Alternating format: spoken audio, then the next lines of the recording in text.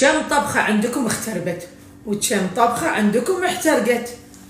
شلون تميزون بين ورق الزبدة وورق ال wax؟ أول شيء ورق ال wax هو الورق الشمعي يعني اللي ما يدخل الفرن ولا يدخل الميكروويف ولا يلامس النار. فالطبخة عندكم تخترب وتحترق.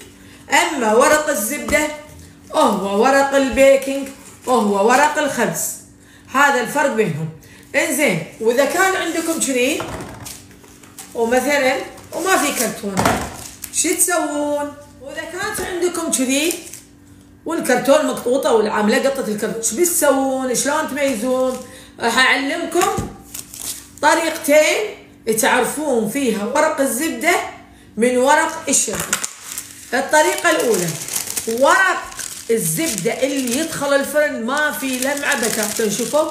راح يكون من الجهتين خشن. ما يدخل طبعا أي لمعة فيه. اذا ورق الزبدة اللي يدخل الفرن والمايكروويف ما تكون فيه لمعة والورقة تكون حرشه أما ورق اللي هو الثاني الورق الشمعي اللي تستخدمونه للتغليف أو للشوكليت أو لأي شيء بارد لازم تكون في الجهتين في لمعة شوفوا اللمعة مالته تكون في لمعة. وهذا ما يدخل الفرن. هذه الطريقة الأولى. المقارنة الثانية ورق الزبدة اللي يدخل الفرن السوائل تصير معزولة ما تتشرب. السوائل شوفوا تنعزل ما تتشرب. أما ورق الشمع السائل يتشرب والزيت يتشرب. شوفوا. فرق راح يفرش شوفوا ويتشرب معاي. شوفوني شلون الورقة تشربت شوفوها. راح تتشرب معاكم شوفوها. هذا ورق الشمع اللي ما يدخل الفرن يتشرب بالسوائل. شوفوا.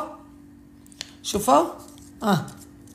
لكن ورق الزبدة شوفوا ما يتشرب. شوفوا الزيت ما يتشرب. هذه المقارنة الثانية. شوفوا. ما يتشرب. لكن هني شوفوا تشرب الورقة صار فيها؟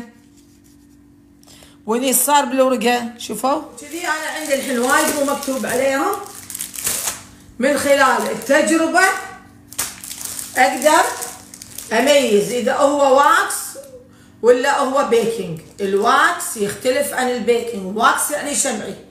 الزبدة يعني ورق الخبز وورق ال baking. فأنا أكتشف من خلال اللي هو التجارب اللي أسويها على الأوراق اللي أشتريها راح تسهل علي عملية دخول الفرن.